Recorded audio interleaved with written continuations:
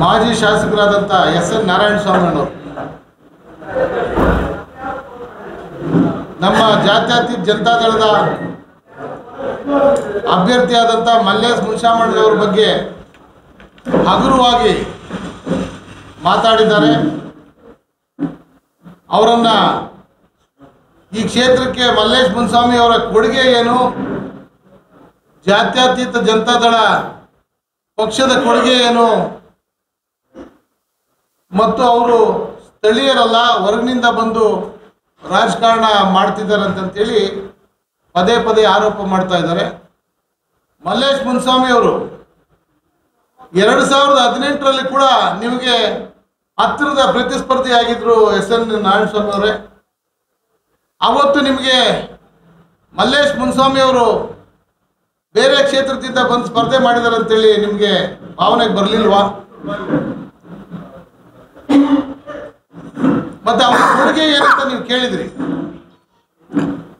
ಮಲ್ಲೇಶ್ ಮುನ್ಸ್ವಾಮಿ ಅವರು ಕಳೆದ ಚುನಾವಣೆಯ ಸೋತ ನಂತರ ಒಂದು ದಿನನೂ ಈ ಕ್ಷೇತ್ರವನ್ನು ಬಿಟ್ಟು ಹೊರಗಡೆ ಹೋಗಲಿಲ್ಲ. ಅವರಿಗೆ ಅಧಿಕಾರ ಇಲ್ಲ ಅಂತಂದ್ರೆ ಕೂಡ ಅವ್ರ ಕೈಲಿ ಆದಷ್ಟು ಸಮಾಜ ಸೇವೆ ಈ ಒಂದು ಕ್ಷೇತ್ರಕ್ಕೆ ನಿರಂತರವಾಗಿ ಕೊಡ್ತಾ ಬಂದಿದ್ದಾರೆ. ತಕ್ಕ ಪಾಠ ಕಲಿಸ್ಕೊಡಕ್ಕೆ ಒಂದು ಒಂದು ಸುವರ್ಣ ಅವಕಾಶ ಅಂತಂತೇಳಿ ನಾನು ಈ ಒಂದು ಬಂಗಾರಪೇಟೆ ಕ್ಷೇತ್ರ ಜನತೆಗೆ ಹೇಳಕ್ ಇಷ್ಟಪಡ್ತೇನೆ. ಪದೇ ಪದೇ ನಮ್ಮ, ಇವತ್ತೇನು ನಮ್ಮ, ಆ ಪಕ್ಷದಿಂದ ನಮ್ಮ ಪಕ್ಷಕ್ಕೆ ಬಂದಿರತಕ್ಕಂಥ ನಾಯಕರ ಬಗ್ಗೆ ಅವಹೇಳಕಾರಿಯಾಗಿ ನೀವು ಮಾತಾಡ್ತಾ ಹೋದ್ರೆ ಅದು ನಿಮ್ಮ ಹೊಲಸು ರಾಜನೀತಿನ ತೋರಿಸ್ತದೆ, ನಿಮ್ಮ ಸಂಸ್ಕೃತಿನ ತೋರಿಸ್ತದೆ. ನಾಳೆ ಬೆಳಗ್ಗೆ ಅದಕ್ಕೆ ಉತ್ತರ ಮೇ ಹತ್ತನೇ ತಾರೀಕು ಈ ಕ್ಷೇತ್ರದ ಜನತೆ ನಿಮಗೆ ಕೊಡ್ತಾರೆ ಹೇಳಿ ಸೋಲಿನ ಭೀತಿಗೊಳಗಾಗಿ ನೀವು ಪ್ರಾಯಶಃ ನೀವು ಹತಾಶರಾಗಿ ನೀವು ಸೀಮಿತ ಕಳ್ಕೊಂಡು ಇದೆಲ್ಲ ಮಾತಾಡ್ತಾ ಇದ್ದೀರಿ ಎಸ್ ಎನ್ ನಾರಾಯಣಸ್ವಾಮಿ ಅವರೇ. ನನ್ನ ಬಗ್ಗೆ ಮಾತಾಡುವಂಥ ಸಂದರ್ಭದಲ್ಲಿ ನಿಮ್ಮ ನಾಲ್ಗೆಗೆ ಎಲುಬಿಲ್ಲ ಅಂತೇಳಿ ಏನಂದರೆ ಅದೆಲ್ಲ ಉಡಾಪೆ ಮಾತುಗಳನ್ನು ಮಾಡೋದ್ರಿಂದ ನೀವು ಜನರನ್ನು ಮರಳು ಮಾಡೋಕ್ಕಾಗೋದಿಲ್ಲ. ಜನ ಈಗಾಗಲೇ ಬದಲಾವಣೆ ಬಯಸಿದ್ದಾರೆ. ನಿಮ್ಮನ್ನು ಬದಲಾವಣೆ ಮಾಡಬೇಕು ಅಂತೇಳಿ ತೀರ್ಮಾನ ಮಾಡಿದ್ದಾರೆ. ಅದಕ್ಕೆ ಮುಂದಿನ ಹದಿಮೂರನೇ ತಾರೀಕು ಅವರೇ ಉತ್ತರ ಕೊಡ್ತಾರೆ.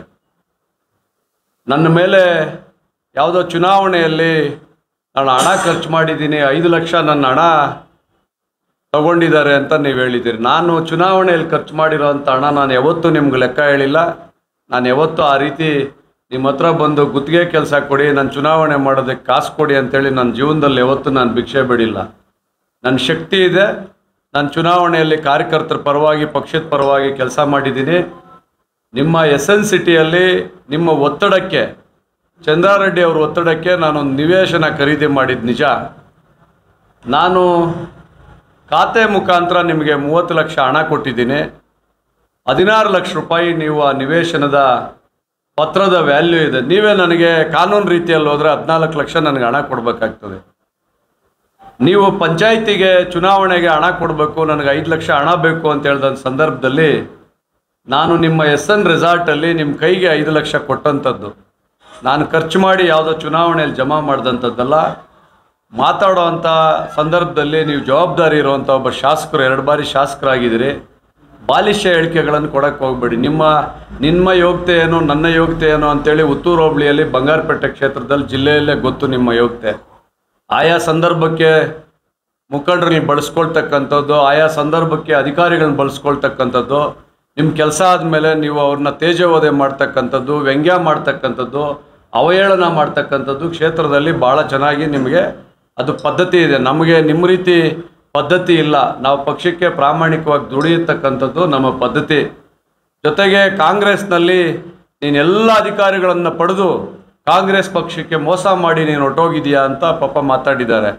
ನೀವು ಶಾಸಕರಾಗದೇ ಇರೋದಕ್ಕೆ ಮೊದಲೇ ನನ್ನನ್ನು ಭಾಗದ ಪಕ್ಷಾತೀತವಾಗಿ ಅನೇಕ ಮುಖಂಡರುಗಳು, ನನಗೆ ಸಹಾಯ ಮಾಡಿದಂಥವರು ಕೆಲವರು ಕಾಂಗ್ರೆಸ್ನಲ್ಲಿ ಇದ್ದಾರೆ, ಜೆ ಡಿ ಎಸ್ನಲ್ಲೂ ಇದ್ದಾರೆ, ಬಿ ಜೆ ಪಿಯಲ್ಲೂ ಇದ್ದಾರೆ. ಆ ಸಂದರ್ಭಕ್ಕೆ ನನ್ನ ಮೇಲೋ ಅಥವಾ ನನ್ನ ಕುಟುಂಬದ ಮೇಲೆ ಇರ್ತಕ್ಕಂಥ ಗೌರವಕ್ಕೆ ನನಗೆ ಸಹಾಯ ಮಾಡಿದ್ದಾರೆ. ಅವ್ರು ಯಾರೂ ಕೂಡ ಮಾತಾಡ್ತಾ ಇಲ್ಲ. ನಿನ್ನ ಸಹಾಯನೇ ನಾನು ಜಿಲ್ಲಾ ಪಂಚಾಯತಿಯಲ್ಲಿ, ನಿನ್ನ ಮುಖಾನೇ ನೋಡಿಲ್ಲ ನಾನು. ಆಪರೇಷನ್ ಕಮಲದಲ್ಲಿ ಎಂ ನಾರಾಯಣ ಸ್ವಾಮಿ ಅವರು ಹೋದಂಥ ಸಂದರ್ಭದಲ್ಲಿ ನೀನು ಮುಖಾನೇ ನೋಡಿಲ್ಲ, ಅಥವಾ ನೀನು ಎರಡು ಮೂರು ತಿಂಗಳಿಗೆ ಚುನಾವಣೆ ಬರುತ್ತೆ, ನಾನು ನಿನಗೆ ಬೆಂಬಲಿಸ್ತೀನಿ ಅಂತೇಳಿ ನಾನು ನನ್ನ ಹತ್ರ ಯಾವತ್ತೂ ನೀನು ಬಂದಿಲ್ಲ. ನಿನ್ನನ್ನು ನೋಡಿದ್ದೆ ಬಂಗಾರಪೇಟೆ ಬೈ ಎಲೆಕ್ಷನ್ ಡಿಕ್ಲೇರ್ ಆದಂಥ ಸಂದರ್ಭದಲ್ಲಿ ಮುಖಂಡರುಗಳೆಲ್ಲ ಸಭೆ ಸೇರಿ ಯಾರನ್ನ ಅಭ್ಯರ್ಥಿ ಮಾಡಬೇಕು ಅಂತ ಸಂದರ್ಭದಲ್ಲಿ ನಾನು ಮುಖ ನಿನ್ನನ್ನು ಅವತ್ತೇ ನಾನು ನೋಡಿದ್ದು. ಅಷ್ಟೊತ್ತಿಗೆ ನಾನು ಜಿಲ್ಲಾ ಪಂಚಾಯತಿ ಮೆಂಬರ್ ಆಗಿದ್ದೆ. ನೀನು ಎಂ ಎಲ್ ಎನೇ ಆಗಿರಲಿಲ್ಲ ಅಷ್ಟೊತ್ತಿಗೆ ನನಗೆ ಕೆ ಎಚ್ ಮುನಿಯಪ್ಪನವ್ರ ಸಹಕಾರದಿಂದ ಮುಖಂಡರ ಸಹಕಾರದಿಂದ ನಾನು ಉಪಾಧ್ಯಕ್ಷರಾಗಿದ್ದೀನಿ, ಒಳ್ಳೆ ಕೆಲಸ ಮಾಡಿದ್ದೀನಿ, ಪಕ್ಷದ ಸಂಘಟನೆ ಮಾಡಿದ್ದೀನಿ. ನಾನು ಯಾವುದೂ ಕೂಡ ಇಲ್ಲಿ ಭ್ರಷ್ಟಾಚಾರ ಮಾಡಿ, ಯಾವುದೇ ಸಮಾಜಕ್ಕೆ ಧಕ್ಕೆ ಬರೋ ರೀತಿಯಲ್ಲಿ, ಸಮಾಜದಲ್ಲಿ ಯಾರಿಗೆ ಒಡಕಾಗೋ ರೀತಿಯಲ್ಲಿ ನಾನು ಯಾವತ್ತೂ ಕೂಡ ನಡ್ಕೊಂಡಿಲ್ಲ. ನಾನು ಒಂದು ಉದ್ಯಮ ಮಾಡ್ತೀನಿ. ನನ್ನ ಪಾಡಿಗೆ ನಾನು ಸಮಾಜ ಸೇವೆ ಮಾಡಿಕೊಂಡು ನಾನು ಕೆಲಸ ಮಾಡ್ಕೊಂಬಂದಿದ್ದೀನಿ. ನಿನಗೆ ನಾನು ಸಹಾಯ ಪಡೆದಿರೋದು ನನ್ನ ಋಣ ನಿನ್ನ ಮೇಲಿದೆ. ನೀನು ಯಾವುದೇ ಚುನಾವಣೆಯಲ್ಲಿ ನನಗೆ ಆರ್ಥಿಕವಾಗಿ ಸಹಾಯ ಮಾಡಿಲ್ಲ, ಅಥವಾ ಯಾವುದೇ ಚುನಾವಣೆಯಲ್ಲಿ ನೀನು ಬಂದ ಮೇಲೆ ನನಗೆ ಕೋಚಿಮಲ್ ಚುನಾವಣೆ ಬಂತು. ಅದು ಮೂರು ವಿಧಾನಸಭಾ ಕ್ಷೇತ್ರಕ್ಕೆ ಸೇರುವಂಥ ಸಂದರ್ಭ ಪಕ್ಷಾತೀತವಾಗಿ ನನಗೆ ಸಹಾಯ ಮಾಡಿದ್ದಾರೆ. ಒಂದು ಸಹಕಾರ ಕ್ಷೇತ್ರದಲ್ಲಿ ಪಕ್ಷದ ವೇದಿಕೆ ಮೇಲೆ ಯಾವುದು ಬಿಪಾರಂ ಇರಲ್ಲ. ಪಕ್ಷಾತೀತವಾಗಿ ನನಗೆ ಸಹಾಯ ಮಾಡಿದ್ದಾರೆ. ನೀನು ಕೋಚಿಮಲ್ಲು ನಿರ್ದೇಶಕ ಆಗಿದೆಯಾ ಪಕ್ಷಕ್ಕೆ ಮೋಸ ಮಾಡಿದೆಯಾ ಅಂದರೆ ನಾವು ಕಟ್ಟಿರ್ತಕ್ಕಂಥ ಪಕ್ಷ ನೀನು ನಮ್ಮನ್ನು ಉಳಿಸ್ಕೊಳ್ಳೋಕೆ ಯೋಗ್ಯತೆ ಇಲ್ಲದೆ ನೀನು ಕಿರುಕುಳ ತಡ್ಕೊಳಕ್ಕಾಗದೆ ನಾವು ಪಕ್ಷ ಬಿಟ್ಟು ಆಚೆ ಹೋಗಿದ್ದೀವಿ. ನಾವು ಜೆ ಡಿ ಎಸ್ಗೆ ಹೋಗಿದ್ದೀವಿ, ಒಬ್ಬ ಗೌರವಸ್ಥ, ಸಂಸ್ಕೃತಸ್ಥ, ಮಲ್ಲೇಶಿಗೆ ಸಹಾಯ ಮಾಡಬೇಕು. ಕುಮಾರಣ್ಣನ ಪಂಚರತ್ನ ಕಾರ್ಯಕ್ರಮಗಳು ಗ್ರಾಮೀಣ ಭಾಗದಲ್ಲಿ ರೈತರಿಗೆ ಸಾಕಾರ ಆಗ್ತದೆ ಅಂತೇಳಿ ನಮ್ಮ ವೈಯಕ್ತಿಕ ತೀರ್ಮಾನ ತಗೊಂಡು ಹೋಗಿದ್ದೀವಿ. ನಾವು ಯಾವುದೇ ಹಣ ತಗೊಂಡು ಅಥವಾ ಮಲ್ಲೇಶ್ ಅವರ ಆಮಿಷಕ್ಕೆ ಹೋಗಿಲ್ಲ. ಹಣ ತಗೊಳ್ತಕ್ಕಂಥದ್ದು, ಜೊತೆಗೆ ನನ್ನನ್ನು ಚೇಳು ಅಂತ ಮಾತಾಡಿದೀಯ. ಚೇಳಿನ ಕೆಲಸ ನಿನಗೆ ಗೊತ್ತು. ಕಳೆದ ವಿಧಾನ ಪರಿಷತ್ ಚುನಾವಣೆಯಲ್ಲಿ ಮನೋಹರ್ ಹತ್ರ ಎಷ್ಟು ನೀನು ವ್ಯಾಪಾರ ಮಾಡಿಕೊಂಡೆ, ಎಷ್ಟು ಹಣ ತಗೊಂಡೆ, ಮತ್ತು ಕಾಂಗ್ರೆಸ್ ಅಭ್ಯರ್ಥಿಗೆ ನೀನು ಮತ ಹಾಕ್ಸ್ದೆ, ಎಂಟು ಗಂಟೆಗೆ ಕೆ ಆರ್ ಪುರಮಲ್ಲಿ ಎಲ್ಲಿದ್ದೆ, ಆ ವಿಚಾರ ನಿನಗೂ ನನಗೂ ಜಗಳ ಆಗಿದ್ದು ಉತ್ತೂರು ಹೋಬಳಿ ಮುಖಂಡರುಗಳಿಗೆ ಗೊತ್ತು. ಕಳೆದ ಲೋಕಸಭಾ ಚುನಾವಣೆಯಲ್ಲಿ ನಿನ್ನ ರಾಜಕೀಯ ಗುರು, ರಾಜಕೀಯ ಭಿಕ್ಷೆ ಬೇಡದಂತ, ಭಿಕ್ಷೆ ಕೊಟ್ಟಂತ ಕೆ ಎಚ್ ಮುನಿಯಪ್ಪನವ್ರ ಹತ್ರ ಹಣ ತಗೊಂಡು ನೀನು ಯಾವ ಪಕ್ಷಕ್ಕೆ ಮತ ಹಾಕ್ದೆ ಅಂತೇಳಿ ಇಲ್ಲಿರ್ತಕ್ಕಂಥ ಮಾಧ್ಯಮದ ಸ್ನೇಹಿತರು, ಮುಖಂಡರುಗಳಿಗೆ ವಿಶೇಷವಾಗಿ ಅಲ್ಪಸಂಖ್ಯಾತ ಬಂಧುಗಳಿಗೆಲ್ಲ ಗೊತ್ತು. ಗಿರಾಕಿ ನೀನು ನಾವಲ್ಲ. ಗಿರಾಕಿ ನೀನು ನಾವಲ್ಲ. ನಾವು ಭಾಳ ಗೌರವಿತವಾಗಿದ್ದೀವಿ ಭಾಳ ಗೌರವಿತವಾಗಿ ಬಂದಿರತಕ್ಕಂಥ ಕುಟುಂಬ, ಕೃಷಿ ಮಾಡಿ ಜೀವನ ಮಾಡ್ತಕ್ಕಂಥ ಕುಟುಂಬ, ನಿನ್ನ ದೌರ್ಜನ್ಯದ ಮಾತುಗಳು, ನಿನ್ನ ಅವಹೇಳನವಾಗಿ ಮಾತಾಡ್ತಕ್ಕಂಥದ್ದು, ನಿನ್ನ ದಬ್ಬಾಳಿಕೆ ಮಾತುಗಳಿಗೆ ಕೇಳೋದಕ್ಕೆ ಯಾರಲ್ಲಿ ಕೂತಿರ್ತಕ್ಕಂಥ ಮುಖಂಡರುಗಳಿಗೆ ಚಪ್ಪಾಳೆ ಹೊಡೆಯೋದಕ್ಕೆ ಇಷ್ಟ ಆಗ್ಬೋದು. ಆ ಭಾಗದಲ್ಲಿ ಇರ್ತಕ್ಕಂಥ ಜನ, ನಾನೇನು ನೀನೇನು ಅಂತ ತೀರ್ಮಾನ ಮಾಡಿದ್ದಾರೆ, ಈಗಾಗಲೇ ಮುಂದೆ ಗೊತ್ತಾಗ್ತದೆ ಚುನಾವಣೆಯಲ್ಲಿ. ಮಾತಾಡ್ತಕ್ಕಂಥ ಸಂದರ್ಭದಲ್ಲಿ ನಾಲಿಗೆಗೆ ಇಡ್ತಾ ಇರಬೇಕು. ಚೇಳು ಅಂತ ಮಾತಾಡಿದೆ. ನಾವು ಕಟ್ಟಿರ್ತಕ್ಕಂಥ ಉತ್ತ, ನೀನು ಬಂದು ನಾಗರಾವ್ ಸರ ಸೇರ್ಕೊಂಡೆ ಉತ್ತದೊಳಗಡೆ. ನಿನ್ ನಿನ್ನ ಕಿರುಕೊಳಕ್ಕೆ ತಡ್ಕೊಳಕ್ಕಾಗದೆ ನಾನು ರಾಮಚಂದ್ರಣ್ಣ, ಇಲ್ಲಿರ್ತಕ್ಕಂಥ ಮುನ್ರಾಜು, ರಾಜು, ಸಿ ವೆಂಕಟೇಶಪ್ಪ, ನಾರಾಯಣಪ್ಪ, ಎಲ್ಲ ಕೂಡ ಈ ಜಿಲ್ಲಾ ಕಾಂಗ್ರೆಸ್ ಅಧ್ಯಕ್ಷ ಚಂದ್ರಾರೆಡ್ಡಿ. ಎಲ್ಲ ಕೂಡ ನಿನ್ನ ಕಿರುಕುಳಕ್ಕೆ ಆಚೆ ಬಂದಿರತಕ್ಕಂಥದ್ದು. ಜೊತೆಗೆ ಬ್ಲಾಕ್ ಕಾಂಗ್ರೆಸ್ ಅಧ್ಯಕ್ಷರೊಬ್ಬರು ಮಾತಾಡ್ತಾರೆ. ಅವನೇ ಗುತ್ತಿಗೆದಾರ, ಅವನೇ ಬ್ಲಾಕ್ ಕಾಂಗ್ರೆಸ್ ಅಧ್ಯಕ್ಷ ಉತ್ತೂರು ಹೋಬಳಿಯಲ್ಲಿ. ನಿನಗೆ ನೈತಿಕತೆ ಇದ್ರೆ ಕೋಚಿಮಲ್ ನಿರ್ದೇಶಕ ಸ್ಥಾನಕ್ಕೆ ರಾಜೀನಾಮೆ ಕೊಟ್ಟು ಗೆದ್ದು ಬಾ ಅಂತೇಳಿ. ನನ್ನ ಪಕ್ಷದಲ್ಲಿ ಬಿ ಪಾರಮ್ ಯಾರೋ ಕೊಟ್ಟಿಲ್ಲ. ನಾನು ಪಕ್ಷಾತೀತವಾಗಿ ಗೆದ್ದು ಬಂದಿರತಕ್ಕಂಥ ಸಹಕಾರ ಕ್ಷೇತ್ರದಲ್ಲಿ ನಾನು ಏನು ಅಂತ ನಾನು ರಾಜೀನಾಮೆ ಕೊಡಲಿ? ನಾನು ನಿಮ್ಮ ಮುಖಾಂತರ ಕೇಳಲಿಕ್ಕೆ ಬಯಸ್ತೇನೆ. ನಿನಗೆ ರಾಜೀನಾಮೆ ಕೇಳಲಿಕ್ಕೆ ಏನು ನೈತಿಕತೆ ಇದೆ? ಕಟ್ಟಿ, ನೀವು ಬ್ಲಾಕ್ ಕಾಂಗ್ರೆಸ್ ಅಧ್ಯಕ್ಷರಿದ್ದೀರಿ, ಕಾಂಗ್ರೆಸ್ ಪಕ್ಷನ ಕಟ್ಟಿ. ಅತಿ ಹೆಚ್ಚು ಮತವನ್ನು ಕೊಡಿ, ಕೊಡಿಸಿ ನಾರಾಯಣ ಸ್ವಾಮಿ ಅವ್ರಿಗೆ. ನಾವು ಬೇಡ ಅಂದ್ವಾ? ಜೊತೆಗೆ ಕೋಚಿಮಲ್ನಲ್ಲಿ ಟೆಂಡರ್ಗಳನ್ನು ರದ್ದು ಮಾಡಿಸ್ತೀನಿ. ಯಾರೋ ಅಲ್ಲಿ ಕೆಲಸ ಮಾಡ್ತಕ್ಕಂಥವ್ರಿಗೆ ಧಮಕಿ ಹಾಕ್ತೀನಿ, ಜೆ ಡಿ ಎಸ್ ಪರವಾಗಿ ಕೆಲಸ ಮಾಡಬೇಕು ಅಂತೇಳಿ ನೀವೆಲ್ಲಾದರೂ ಇದನ್ನು ಯಾವುದಾದ್ರೂ ಪ್ರೂವ್ ಮಾಡಿದ್ರೆ ನಾನು ರಾಜಕೀಯ ಸನ್ಯಾಸತ್ವ ತಗೊಳ್ತೀನಿ, ಇಲ್ಲಾಂದ್ರೆ ನೀವು ಸನ್ಯಾಸತ್ವ ತಗೊಳ್ಬೇಕು. ಬಹಿರಂಗವಾಗಿ ಹೇಳ್ಬೇಕು ನೀವು, ಯಾರಿಗೆ ಧಮಕಿ ಹಾಕಿದ್ದೀನಿ, ಯಾರಿಗೆ ನಾನು ಫೋನ್ ಮೂಲಕ ಮಾತಾಡಿದ್ದೀನಿ ಅಂತ.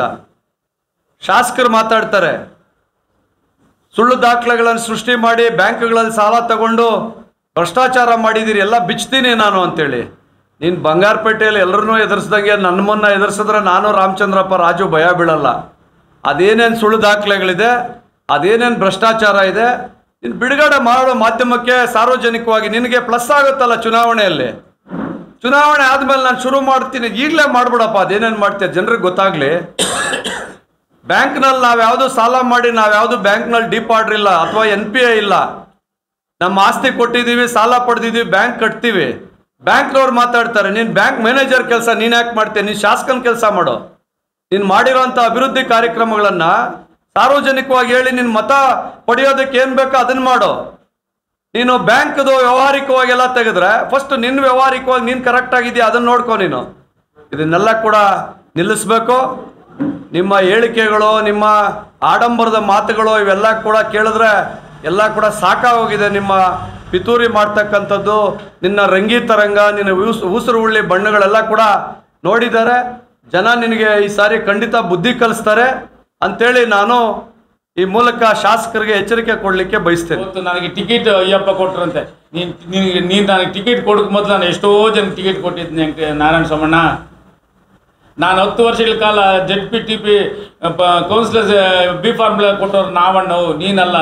ನೀನು ಎಲ್ಲೆಲ್ಲೋ ಇದ್ದೆ. ನಾವು ಕಾಂಗ್ರೆಸ್ ಪಕ್ಷವನ್ನು ಕಟ್ಟಿ ಬೆಳೆಸಿದವರಣ್ಣವು ನಾನನ್ನು ನಿನಗೆ ಕ್ಷೇತ್ರವನ್ನು ಪರಿಚಯ ಮಾಡಿಸ್ಕೊಟ್ಟಿದ್ದು ನಾರಾಯಣ ಸೋಮಣ್ಣ. ಇವತ್ತು ಏನೋ ಏನೋ ದೊಡ್ಡದಾಗಿ ನೀನು ಗರಂಧಾರಿಕೆ ಕ್ಷೇತ್ರದ ಅಭಿವೃದ್ಧಿ ಅಭಿವೃದ್ಧಿ, ನಾ ಅಭಿವೃದ್ಧಿ ಮಾಡಿದ್ದೀನಿ ಅಂತಕ್ಕಂಥ ಏನು ಕ್ಯಾಸೆಟ್ಗಳು ಹಾಕ್ಕೊಂಡು ಎಲ್ಲ ಮಾತಾಡ್ತೀಯಲ್ಲ ನಾವು ಅಭಿವೃದ್ಧಿ ಹೆಸರಿನಲ್ಲಿ ನೀನೆಷ್ಟು ಅಭಿವೃದ್ಧಿ ಆಗಿದೆ ಹೇಳಣ್ಣ. ಇವತ್ತು ನಾನು ದುಡಿಮೆಯಿಂದ ನಾನು ಸಂಪಾದನೆ ಮಾಡಿದ್ದೀನಿ ಅಂತ ಹೇಳ್ತಾ ಇದೆಯಲ್ಲ ಇವತ್ತು ನಿನ್ನ ಮನೆಯಲ್ಲಿ ಇರ್ತಕ್ಕಂಥ ಆಸ್ತಿಗಳು. ಎಲ್ಲ ನಾವೆಲ್ಲ ಕೂಡ ಜೊತೆಲಿದ್ವಿ. ಯಾಕಣ್ಣ ನಮ್ಗೆ ಅದನ್ನು ಕಲಿಸ್ಬಾರ್ದಾಗಿತ್ತು? ನಾವು ನಿನ್ನಂಗೆ ಆಗ್ತಾ ಇದ್ವಲ್ಲಣ್ಣ. ನಿನ್ನಂಗೆ ನಾವು ಒಂದು ಆಸ್ತಿವಂತರ ಆಗ್ತಾ ಇದ್ವಲ್ಲಣ್ಣ ನಿನ್ನಷ್ಟು ಆಗ್ತಿದ್ರು ನಿನ್ನಲ್ಲಿ ಒಂದು ಐದು ಪರ್ಸೆಂಟ್ ಆದರೂ ಆಗ್ತಾ ಇದ್ವಲ್ಲ ನಾವು. ನಾವೆಲ್ಲ ರಾಜಕಾರಣ ಮಾಡ್ಕೊಂಡು ಬಂದಿರ್ತಕ್ಕಂಥದ್ದು. ಮೂವತ್ತೇಳು ವರ್ಷಗಳಿಂದ ನಮ್ಮ ತಾತ ಸಂಪಾದನೆ ಬಂಗಾರಪೇಟೆ ಪಟ್ಟಣದಲ್ಲಿ ನಮ್ಮ ತಾತ ಹದಿನೈದು ಎಕರೆ ಇಟ್ಟಿದ್ದ ನಾವು. ಆ ಜಮೀನುಗಳು ಮಾರ್ಕೊಂಡು ರಾಜಕಾರಣ ಮಾಡ್ಕೊಂಡು ಬಂದಿರೋದು. ನಾವು ಯಾವುದೇ ಆಸೆ ಆಮಿಷಗಳಿಗೆ ನಾವು ಎಲ್ಲೂ ಬಲಿ ಆಗ್ಲಿನು ಹೇಗಂದ್ರೆ ಒಂದು ಆಟ, ಒಳಗೆ ಒಳಗೆ ಏನು, ಏನಂತೀವಿ ಅದು, ಊಸುರುಳ್ಳಿ ನೀನು. ಊಸುರುಳಿ ಕಾಲ ಕಾಲಕ್ಕೆ ಹೆಂಗೆ ಬೇಕು ಬಣ್ಣ ಬದಲಾವಣೆ ಆಗ್ತಾ ಇದೆಯಾ? ಅದೆಲ್ಲ ಒಳ್ಳೇದಲ್ಲ. ನೀವು ಶಾಸಕನಾಗ್ತಕ್ಕಂಥವರು ಗಾಂಭೀರ್ಯತೆ ಇರಬೇಕು, ದೊಡ್ಡತನ ಇರಬೇಕು ಗೌರವತ್ವಾಗಿ ನಡ್ಕೋಬೇಕು ನೋವು. ಆ ಗಾಂಭೀರ್ಯತೆ ನೀನು ಇಲ್ಲ ಆ ಬಾಯಿ ಏನು ಬಂದ್ರೆ ಅದೆಲ್ಲ ಮಾತಾಡ್ತೀಯ? ಅವಕಾಶ ತಕ್ಕಂಗೆ ಒಳ್ಳೇದಲ್ಲಣ್ಣ ಒಳ್ಳೆ ಒಳ್ಳೆ ಒಳ್ಳೆ ವಾತಾವರಣ ಅಲ್ಲ ನೋವು. ಅದು ಕಸ ತೊಟ್ಟಿ ಆಗಬಾರ್ದಣ್ಣ ಶಾಸಕರಾಗ್ತಕ್ಕಂಥವ್ರ ಬಾಯಿ, ಅದು ಬಹಳ ಶುದ್ಧವಾಗಿರ್ಬೇಕು ಗೌರವವಾಗಿರ್ಬೇಕು ಬೇರೆಯವ್ರು ನೋಡಿದಾಗ ಆಕರ್ಷಣೆ ಆಗಿರ್ಬೇಕಣ್ಣ. ಯಾರು ನಮ್ಮ ಸಮುದಾಯಕ್ಕೆ ಉದ್ಧಾರ ಮಾಡಿದ್ದೀನಿ ಉದ್ಧಾರ ಮಾಡಿದ್ದೀನಿ ಅಂತ ಹೇಳಿದಾನ ಎಷ್ಟು ಜನ ನೀನು ಹತ್ತು ವರ್ಷಗಳ ಅವಧಿಯಲ್ಲಿ, ಎಸ್ ಸಿ, ಎಸ್ ಟಿ ಕಾರ್ಪೊರೇಷನಲ್ಲಿ. ಎಷ್ಟು ಜನ ನಮ್ಮ ಜನಾಂಗಕ್ಕೆ ನೀನು ಲೋನ್ಗಳು ಕೊಟ್ಟಿದ್ದೆ ಹೇಳೋಣ. ನಿಮ್ಮವ್ರಿಗೆ ಎಷ್ಟು ಕೊಟ್ಟಿದ್ದೆ, ನಮ್ಮವ್ರಿಗೆ ಎಷ್ಟು ಕೊಟ್ಟಿದ್ದೆ ಹೇಳೋಣ.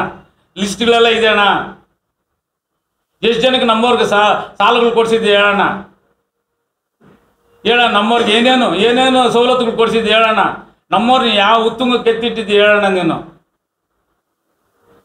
ನೀನು ಬಣ್ಣ ಎಲ್ರಿಗೂ ಗೊತ್ತಿದೆ.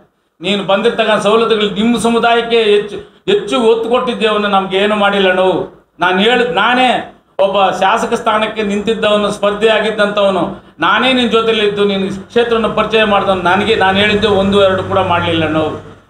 ಆ ನೋವಾಗಿದೆ ನಾವು ನಾವು ಆದ್ದರಿಂದ ಹೋಗಿದ್ದೀವಿ. ಇನ್ನೇನು ಯಾವುದೇ ಹಣ ಆಮಿಷಕ್ಕೆ ನಾವು ಹೋಗಿಲ್ಲ ನಾನು ಸೋಮಣ್ಣ. ದಯವಿಟ್ಟು ತಾವು ಅರ್ಥ ಮಾಡ್ಕೊಳ್ರಿ. ನಮ್ಮ ಮೇಲೆ ಮಾತಾಡಬೇಕಾದ್ರೆ ನಿಮಗೆ ಸ್ವಲ್ಪ ಸ್ವಲ್ಪ ನಿಮಗೆ ನಿಮ್ಮ ಬಾಯಿಗೆ ಸ್ವಲ್ಪ ಇಡ್ತಾ ಇರಬೇಕು. ಈ ಭಾಷಣದಲ್ಲಿ ನಮ್ಮ ಬ್ಲಾಕ್ ಕಾಂಗ್ರೆಸ್ ಅಧ್ಯಕ್ಷರು ಮಾತಾಡ್ತಾರೆ. ನಾನು ಎರಡು ತಿಂಗಳಿಂದ ಅವ್ರನ್ನ ಕಾಲು ಹಿಡ್ಕೊಂಡು ಕೇಳ್ಕೊಂಡೆ.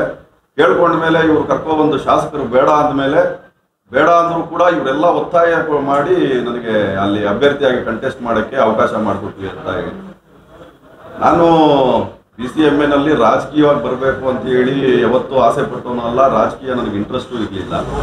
ಮಲ್ಲೇಶ್ ಅಣ್ಣವರು ಅದೇ ರೀತಿ ನಮ್ಮ ಎಂ ಆರ್ ಎಫ್ ವೆಂಕಟೇಶಣ್ಣವರು ಹುಡುಗೂರು ರಾಮಣ್ಣವರು, ಇವರೆಲ್ಲ ನಮ್ಮ ಮನೆಗೆ ಬಂದಿದ್ದು ನಿಜ. ಅವ್ರು ಬಂದು ಕೇಳಿದ್ರು ನಾನು ಅದುವರೆಗೂ ಯಾವುದೇ ರಾಜಕೀಯ ಪಕ್ಷದಲ್ಲಿ ಗುರ್ಸ್ಕೊಂಡಿಲ್ಲ. ನನ್ನ ಸ್ನೇಹಿತರೆಲ್ಲರೂ ಜೆ ಡಿ ಎಸ್ ಪಕ್ಷದಲ್ಲಿ ಇದ್ದೋರೆ ಆದರೆ ನಾನು ರಾಜಕೀಯವಾಗಿ ಯಾವುದೇ ಪಕ್ಷದಲ್ಲಿ ಗುರ್ಸ್ಕೊಂಡು ಇನ್ನೊಂದು ಮಾಡಿದ್ದವನಲ್ಲ ಮೊನ್ನೆ ಶಾಸಕರು ಒಂದು ಎರಡು ದಿವಸ ಹಿಂದೆ ನನಗೆ ಫೋನ್ ಮಾಡಿದ್ರು, ಸುಮಾರು ಒಂದು ಇಪ್ಪತ್ತು ನಿಮಿಷ ಮಾತಾಡಿದ್ರು ನೀನು, ಏನು ಹೋಬಳಿಯಲ್ಲಿ ಓಡಾಡಬೇಡ, ಮಾಡಬೇಡ. ನೀನು ಸುಮ್ಮನೆ ಇದ್ಬಿಡು. ನಿನ್ನ ನೆಕ್ಸ್ಟ್ ಎಲೆಕ್ಷನ್ ಬಂದರೆ ನಾನು ಸಹಾಯ ಮಾಡ್ತೀನಿ. ನಾನು ನಿಮ್ಗೇನು ತೊಂದರೆ ಮಾಡೋದಿಲ್ಲ ಅಂತ ಮಾತಾಡ್ತಾರೆ. ನಾವು ಕಾಂಗ್ರೆಸ್ ಪಕ್ಷದಲ್ಲಿದ್ದಾಗ ನಿಯತ್ತಾಗಿ ಪಕ್ಷ ಕೆಲಸ ಮಾ ಪಂಚರತ್ನ ರಥಯಾತ್ರೆ ಕಾರ್ಯಕ್ರಮ ನಡೀತು. ಇವತ್ತು ಆಲ್ರೆಡಿ ನಮ್ಮ ಜಿಲ್ಲೆಯಲ್ಲಿ, ಜನರ ಬಾಯಲ್ಲಿ, ಮನಸ್ಸಲ್ಲಿ ಜೆ ಡಿ ಎಸ್ ಪಕ್ಷದ ಬಗ್ಗೆ ಒಂದು ಒಳ್ಳೆ ಅಭಿಪ್ರಾಯ ಬಂದಿದೆ. ನಮ್ಮ ಅಭ್ಯರ್ಥಿಗಳಿಗೂ ಒಂದು ಒಳ್ಳೆ ಅಭಿಪ್ರಾಯ ಇದೆ. ನಮ್ಮ ಬಂಗಾರಪೇಟೆ ಕ್ಷೇತ್ರದಲ್ಲಿ ಮಲ್ಲೇಶ್ವರವರು ಇವತ್ತು ಮನೆ ಮನೆಯಲ್ಲೂ ಮಾತಾಗಿದ್ದಾರೆ. ಇವತ್ತು ಮನೆ ಮನೆ ಮಾತಾಗಿರೋಂಥವ್ರನ್ನ, ಅವರು ಒಂದು ಜನರ ಬಾಯಲ್ಲಿ ಮನಸ್ಸಲ್ಲಿ ಬಂದಂಥವ್ರನ್ನ ಸೋಲಿಸಿದಂಥ ಇತಿಹಾಸನೇ ಇಲ್ಲ. ಇವತ್ತು ನಮ್ಮ ಮಲ್ಲೇಶ್ ಅಣ್ಣವ್ರು ಗೆದ್ದೇ ಗೆಲ್ತಾರೆ.